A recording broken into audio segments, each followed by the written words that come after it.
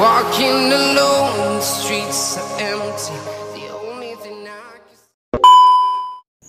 So ngayon guys, uh, ituturo ko sa inyo kung paano i-connect yung Twitter account into uh, Facebook account. So pindutin lang natin tong sa profile natin guys, sa Facebook. So ayan, kung makita nyo yan. So kung mapapansin nyo guys, nakakonect yung YouTube channel ko dito sa Facebook account. So ayan guys.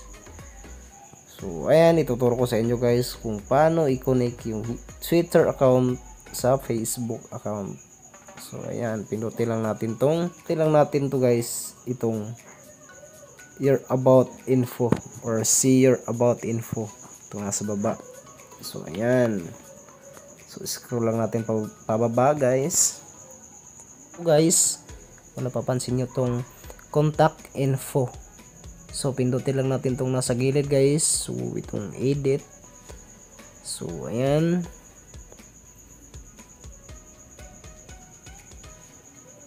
So, ah, pagkatapos guys is ah pindutin lang natin tong ah, itong add social link dito sa baba ng ah, YouTube or Airmail PH TV. So, click lang natin tong add social link guys. Tapos, ayan. Lumabas na yung Instagram. So, bali Twitter yung i-connect natin guys dito sa Facebook natin. So, i- piliin lang natin yung Twitter. Sa Twitter tayo. So, itong nasa taas guys. So, ayan.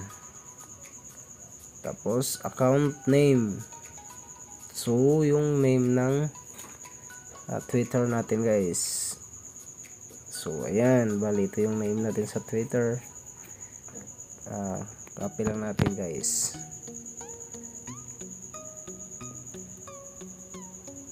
Sulat lang natin Twitter. So, ayan guys.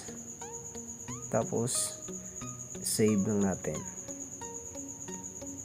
So, ayan. So, ayan na siya guys. Ah, tapos siya, ganun na siya kadali kung paano i-connect yung Twitter account sa Facebook account. So, back na natin guys. Tapos, i-refresh lang natin yung Facebook natin. So, ito na siya guys. Ah, kung mapapansin mo, ah, nak nakakonect na siya sa Facebook account, yung Twitter account ko. So, ito guys, itong nasa baba, kasunod, kasunod ng YouTube channel ko na Airmail Page TV. So, ganun guys, ah, ganun lang kung paano i-connect yung Twitter account sa Facebook account. And, pwede rin guys, kagandahan dito is kung i-click mo to direct na siya dun sa Twitter account natin. So, ayun guys, subukan natin guys kung madadirect ba talaga siya dun sa Twitter account natin. So, click natin guys. Tapos, Twitter.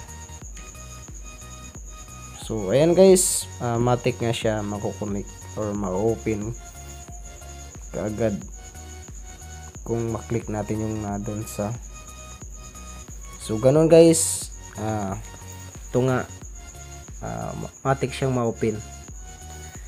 So, ah, ganun lang guys kung paano i-connect yung Twitter account sa Facebook account guys. So, ayun lang guys. Ah, hopefully nakasubscribe na kayo sa aking YouTube channel or Mail Page TV.